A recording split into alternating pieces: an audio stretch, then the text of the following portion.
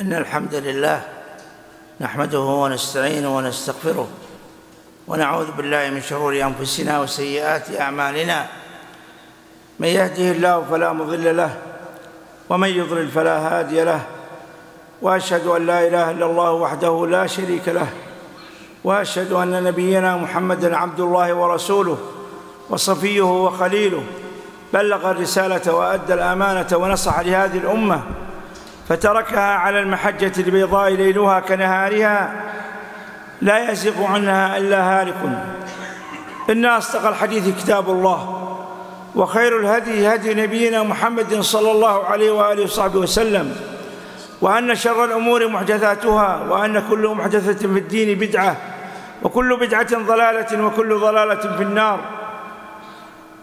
الله سبحانه وتعالى كما جعل لهذه الحياة بداية جعل لها نهاية. والحياة عند الله هي حياة الدنيا وحياة البرزخ وحياة الناس يوم القيامة. الناس كلهم صغيرهم وكبيرهم برهم وفاجرهم مسلمهم وكافرهم وعاصيهم كلهم كلهم سيقفون أمام الله عز وجل. لا تخفى عليه منهم خافية سبحانه وتعالى. سننتقل من هذه الدار إلى دار الحياة البرزخ. وهذه الدار هي قنطرة بين الدنيا والآخرة.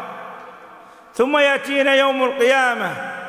وما أدراك ما يوم القيامة. يوم ترونها تذهل كل مرضعة عما أرضعت. الله أكبر. المرضعة التي في جنينها الرضيع تسرع مما ترى من الهول تذهل كل مرضعة عما أرضعت. وتضع كل ذات حمل حملها. وترى الناس سكارى وما هم بسكارى. ولكن عذاب الله شديد. لماذا؟ لأن الكفار والعصاة من أول ما يخرجون من قبورهم وقد علموا أنهم في النار حينما يسألهم منكر ونكير عن الدين والإسلام والنبي محمد صلى الله عليه وسلم فتكون الإجابات منهم خاطئة فيعلمون أن مصيرهم وعرضهم على الله ليس بمحمود لهم. فهم يقولون رب لا تقم الساعة. يا رب لا تفضحنا وقد سترتنا في قبورنا ولكن هيهات هيهات. الله سبحانه وتعالى يقول يومئذ تعرضون. لا تخفى منكم خافية. تصوروا أن يومئذ في هذه السوره ذكرت خمس مرات لبيان التهويل والتقريع والتخويف والتوبيخ لهؤلاء. تعرضون لا تخفى منكم خافية. وعرضوا على ربك صفا. قال ابن عاشور وغيرهم كالصفوف بعضها تتلو بعضا. وقيل هم جماعات وزرافات. يوم العرض على الله وما أدراك ما يوم العرض على الله. حتى الأنبياء والرسل ليفزعون من هول الموقف. أمام الله عز وجل. نوح وموسى وإبراهيم وعيسى ثم يأتون إلى الحبيب محمد صلى الله عليه وسلم الشفيع سيد ولد آدم ليشفع عند الله عز وجل فيرون ما هم فيه من الهول والمفزع. يقول نبينا محمد صلى الله عليه وآله وصحبه وسلم سيكون الناس يوم القيامة حفاة عراة غرلا. تقول له أمنا عائشة رضي الله عنها يا رسول الله الناس يحشرون حفاة وعراة فسيرى الرجل منهم عورة المرأة. يقول لها النبي محمد صلى الله عليه وآله وصحبه وسلم يا ابنة الصديق يا عائشة الموقف أعظم من أن يرى بعضهم إلى عورة بعض.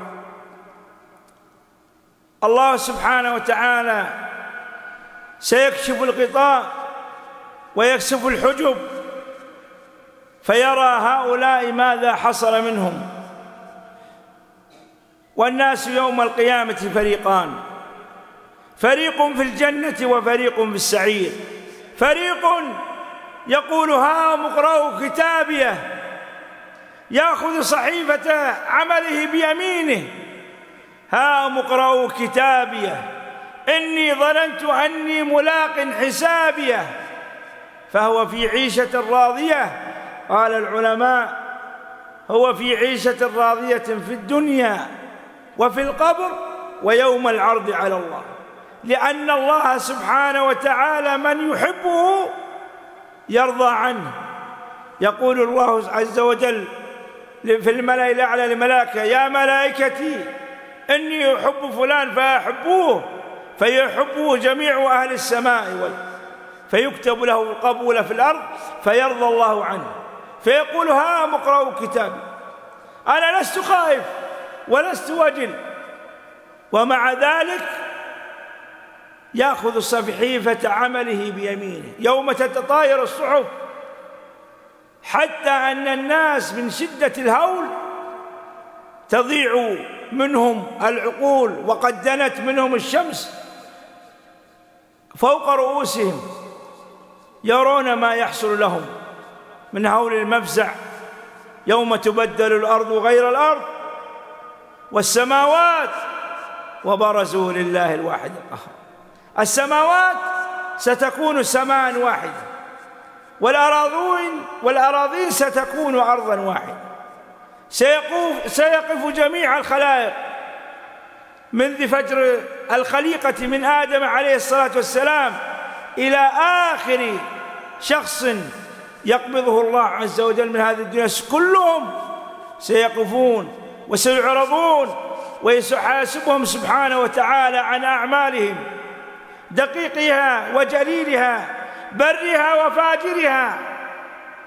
ولكن الله سبحانه وتعالى يحجب عن الكفار وجهه الشريف الكريم سبحانه وتعالى توبيخا وتقريعا واذلالا لهؤلاء. الموقف يوم القيامة ليس بالسهل وليس بالهين لأن الناس منهم من يلجمه العرق الجاما ومنهم من يصل إلى منكبيه ومنهم ومنهم ومنهم ومنهم من شدة الهول. يقول نبينا محمد صلى الله عليه وسلم في شدة هذا الموقف وترى ويقول عن, عن قول الله وترى الناس سكارى وما هم سكارى لا يفقهون ولا يعرفون ماذا يقولون أمام الله عز وجل وهو الذي سبحانه وتعالى يقررهم بالذنب ذنبا وذنبا. يقول الله عز وجل للعبد أتذكر ذنب كذا وخطيئة كذا وفعل كذا فمن شدة الهول والمفزع لا يذكر. فيقول له ربي سبحانه وتعالى نعم إن كان صالحا تقيا طيبا وعنده ذنوب المعاصي وقال يقول الله له أذنبتها في الدنيا وسترتها عليك في الآخرة.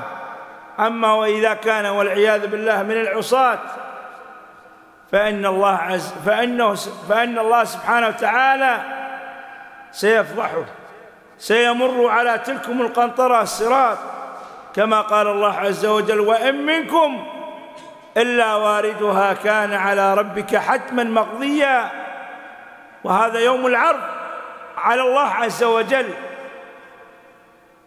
ثم ننجي الذين اتقوا أهل التقوى ونذر الظالمين فيها جثيا.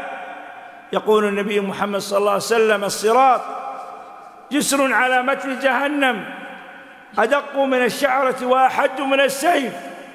منهم من يجاوزه مشيا ومنهم من يعدوه عدوا ومنهم من يمر عليه كالبرق الخاطف ومنهم من تأخذه كلابيش الملائكة فتسقطه بالنار. والعياذ بالله. والله يا أحبة لنتذكر ذلكم الموقف العظيم. عرضنا على الله عز وجل. إذا أصلحنا السرائر لا بد أن نصلح السرائر حتى تصلح مننا تصلح منا الظواهر. إذا لم نصلح بواطننا وقلوبنا بما يسعدنا عند الله عز وجل فوالله ثم والله ثم والله. إن كان الله قد ستر علينا في الدنيا فهناك سنعرض سنعرض أمام البشر. فيعرف قدرة فلان وقدرة فلان والناس يرونه. قد فعل وفعل وفعل وستره الله.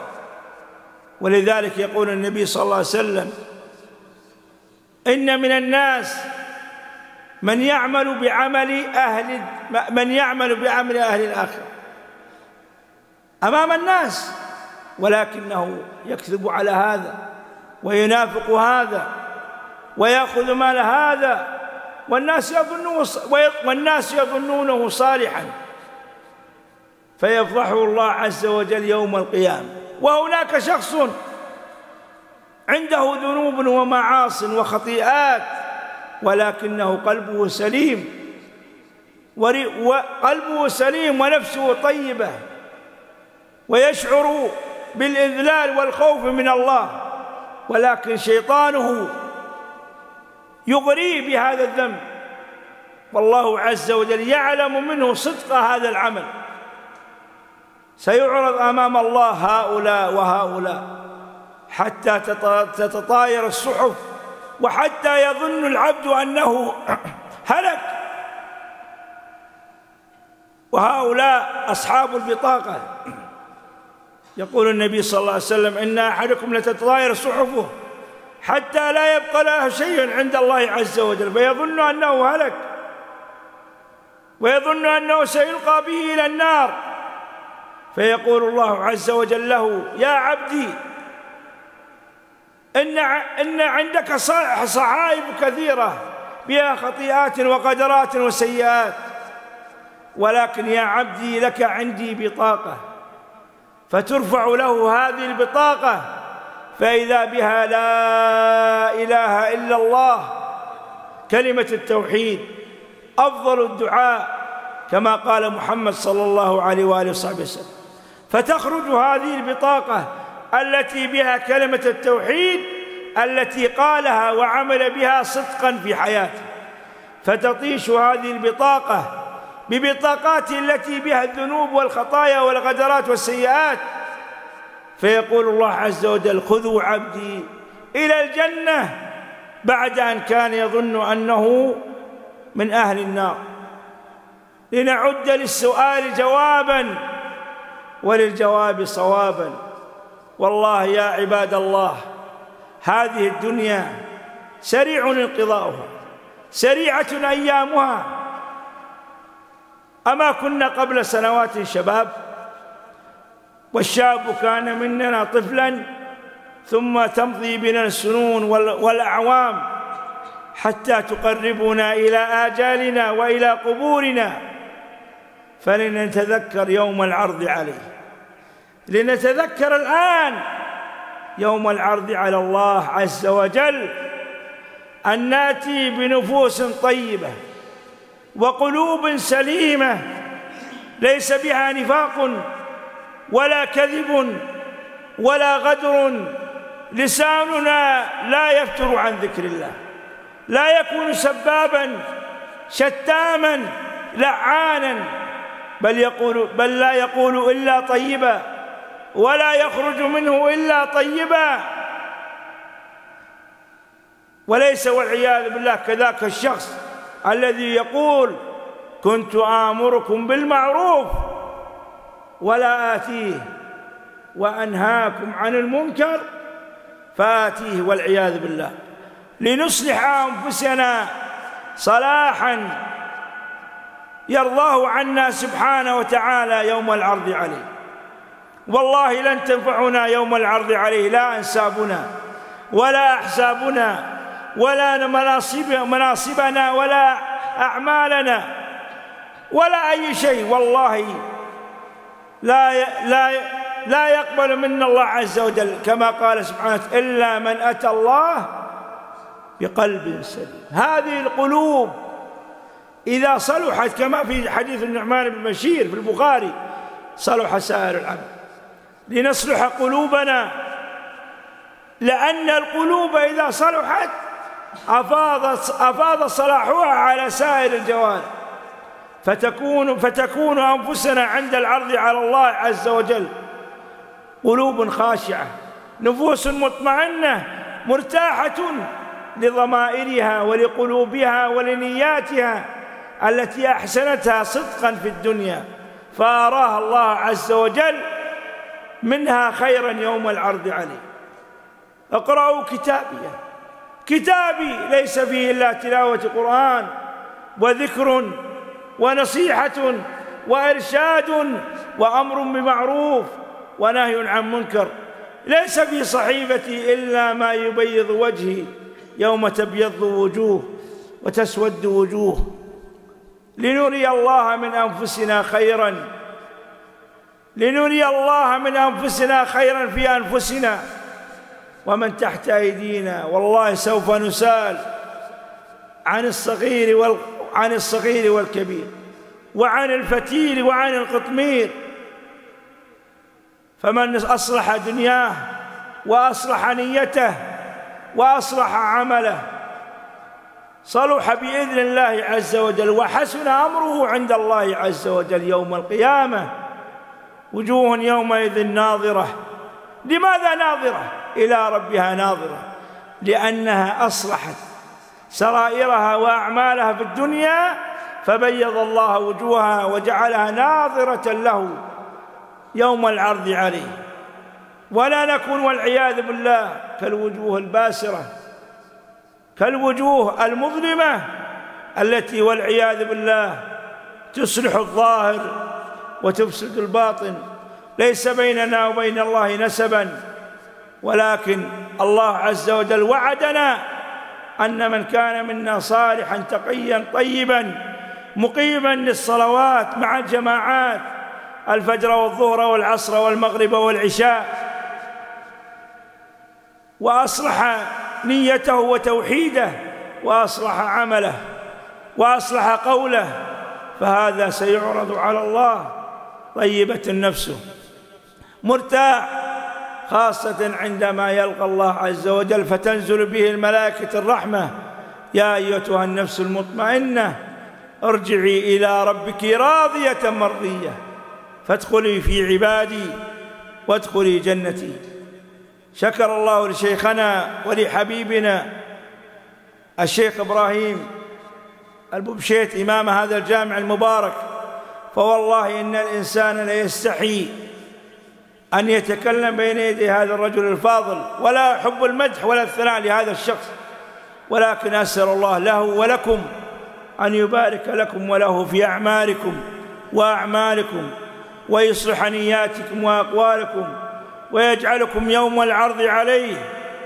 تسعدون وتأنسون بما عملتم من أعمال صالحة. وقد أفاض الله عز وجل عليكم من رحماته. لأن النبي صلى الله عليه وسلم لما جاء ذاك الرجل فيقول فقال له يا رسول الله إننا سندخل الجنة بأعمالنا. قال لا والله. قال يا رسول الله ولا أنت. قال ولا أنا إلا أن يتغمدني إلا أن يتغمدني الله منه بفضل منه ورحمة. أسأله سبحانه وتعالى لشيخنا ولكم صلاح القول وصلاح القول. اللهم في هذه الليلة المباركة ما سألناك من خير فأعطنا وما قصرت عنه آمالنا.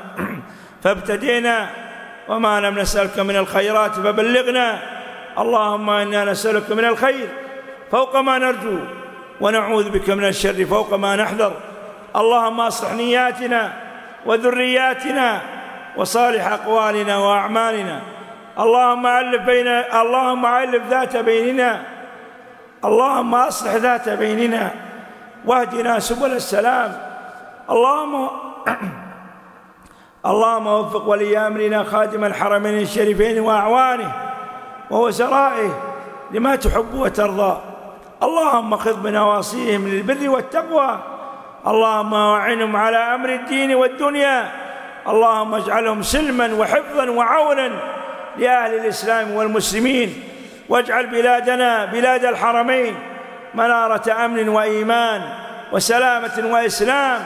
اكفنا يا ربنا وولاة أمرنا وأحبابنا وعلمائنا والناس أجمعين.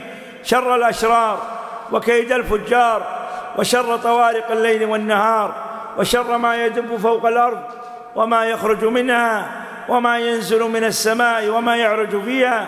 اللهم احفظنا من بين أيدينا ومن خلفنا وعن أيماننا وعن شمائلنا. اللهم احفظنا بحفظك واكلانا برعايتك. اللهم احفظنا بالإسلام قائمين وبالإسلام راقدين وبالإسلام قاعدين. اللهم لا تشمت بنا عدوا ولا حاسدا يا أرحم الراحمين. اللهم اجعل بلاد الحرمين وجميع بلاد المسلمين واحمة أمن وإيمان وسلامة وإسلام. اللهم من أرادنا وأراد ديننا وعقيدتنا وولاة أمرنا والحرمين الشريفين وعلمائنا والمسلمين أجمعين بالشر اللهم رد كيده في نحره. اللهم اجعل حاله في سفيال وأمره إلى وبال. اللهم اكفنا شر الدواعش وشر الإرهابيين وشر من يريد بولاة أمرنا وعلمائنا ورجال أمرنا البواسل. شرا. اللهم اجعل كيدهم في نحورهم. اللهم سلم جنودنا البواسل الذين يقاتلون حياضا عن الدين وعن العقيدة وعن الوطن في حدود الجنوب. اللهم سلمهم في أجسادهم وفي أقوالهم وأعمالهم. اللهم احفظهم في زوجاتهم وأولادهم وممتلكاتهم. اللهم اللهم ثبتهم. اللهم سدد رميهم. اللهم قوهم بقوتك. اللهم اكفيهم شر الحوثيين والعفاشيين. وشر من يريد بهم شر. احفظهم واجعلهم حياضا آمنة لبلادنا ومقدساتنا ولولاة أمرنا ولعلمائنا والمسلمين المجمعين. اللهم اجعلنا ممن يعرضون عليك يوم القيامة بوجوه ناظرة بوجوه طيبة. قد زينت لنا يا ربنا الجنان. اللهم أحسن خاتمتنا عند الموت. اللهم اجعل آخر كلامنا من الدنيا شهادة لا إله إلا الله وأن محمد رسول الله. اللهم بيض وجوهنا يوم تبيض وجوه وتسود وجوه. اللهم اجعل قبورنا من بعد فراق الدنيا من خير منازلنا. اللهم افسح لنا فيها مد أبصارنا. اللهم ثبتنا بالقول الثابت في الحياة الدنيا وفي الآخرة. اللهم كنا ضاحكين مستبشرين. حينما نغادر الدنيا والناس حولنا يبكون. اللهم آمنا من الفزع الأكبر يوم العرض عليك. اللهم اجعلنا إلى الجنان ساكنين. ولحوض نبيك محمد صلى الله عليه وآله وصحبه من الواردين. ومن يده الشريفة ساقين من حوض الكوثر يا أرحم الراحمين. اجعل منازلنا ووالدينا وذرياتنا وأحبابنا والمسلمين أجمعين في مقعد صدق عند مليك مقتدر مع النبيين والصديقين والشهداء والصالحين. وحسن أولئك رفيقا. اللهم سلم إخواننا أهل السنة في العراق. اللهم سلم إخواننا في الموصل. اللهم سلم إخواننا في الفلوجة. اللهم سلم أهل السنة في بلاد الرافتين فإن عدوان الظلم والبغي قد طال عليهم. اللهم أشرق عليهم شمس الأمن والإيمان. اللهم أشرق عليهم شمس التوحيد والخير والبركة. رد عنهم كيد من يريد بهم كيد شرا. اللهم احفظهم من بين أيديهم ومن خلفهم. اللهم سلمهم من الحشد الشعبي ومن الروافض. ومن كل أعوان الشر والبغي يا أرحم الراحمين. اللهم اجعل بلاد سوريا بلاد الشام حياضا وخيرا على أهلها. اللهم سلم أهل حلب وأهل الشام من شر من يريد بهم شر. أمنهم من الفزع والأمنهم من الفزع والقتل والخوف والبغي من هؤلاء الظلمة الغاصبين. اللهم سلم يمننا السعيد من الحوثيين والعفاشيين والمنافقين. اللهم إن بلاد اليمن بلاد خير وبركة بلاد علم ورزق. اللهم أفض على أهلها وأحبابها البركة والإيمان والسلامة والإسلام والأمن. اللهم ادرع عن إخواننا في ليبيا الفتن. اللهم اكفيهم شر المنافقين وشر من يريد بأمنهم وعقيدتهم ومساجدهم وأعراضهم شر. اللهم سلم إخواننا المستضعفين في بورما واركان اللهم سلمهم واحفظهم من شر الهندوسيين الغاصبين. اللهم سلم المسجد الأقصى من براثن اليهود الغاصبين. اللهم سلمه لأهل الحق وأهل السنة وأهل الخير. اللهم اجعل بلاد الإسلام اللهم اجعل بلاد الإسلام بلاد خير وبركة. اللهم أغدق, اللهم أغدق عليهم الأرزاق. والبركات والخيرات. اللهم اجعل بلاد المسلمين بلاد سنة بلاد توحيد. أبعد عنهم من يريد بهم شرا بعقيدتهم ودينهم. اجعلهم لكتابك تالين ولسنة نبيك محمد صلى الله عليه وآله وسلم. متمسكين محافظين اللهم استرهم. استر نساءهم وبناتهم بالحجاب. واكفهم شر الأسواق والأهواء والأدواء. واكفهم شر مواقع التواصل الاجتماعي. اللهم سلم شبابنا. اللهم سلم شبابنا وشاباتنا من شر من يريد بهم شر. في عقولهم وفي قلوبهم وفي جوارحهم وفي فروجهم وفي أعراضهم. اللهم سلمهم لوالديهم. واجعلهم بارين بوالديهم. اللهم اجعلهم صلاحا اللهم اجعلهم صلاحا مصلحين. هداة مقتدين. اللهم وفق المسلمين والمسلمات لما تحب وترضى من خير الأقوال والأعمال. ربنا عليك توكلنا وإليك أنبنا وإليك المصير. ربنا لا تسق قلوبنا بعد إذ هديتنا وهب لنا من لدنك رحمة. إنك أنت الوهاب. اللهم ارزقنا قبل الموت توبة وعند الموت شهادة وبعد الموت جنة رضوانا. ربنا تقبل منا إنك أنت السميع العليم. وتب علينا ووالدينا وجميع المسلمين وارحمنا برحمتك يا أرحم الراحمين. قد قلت ما قلت إن كان صوابا فهذا من الله وفضله وعونه وإن كان فيه من زلل وخطأ فهذا من نفس المقصر والشيطان. وأستغفر الله لي ولكم ولجميع المسلمين. وصل اللهم وسلم وزد وبارك على رسول الله وعلى آله وصحبه أجمعين.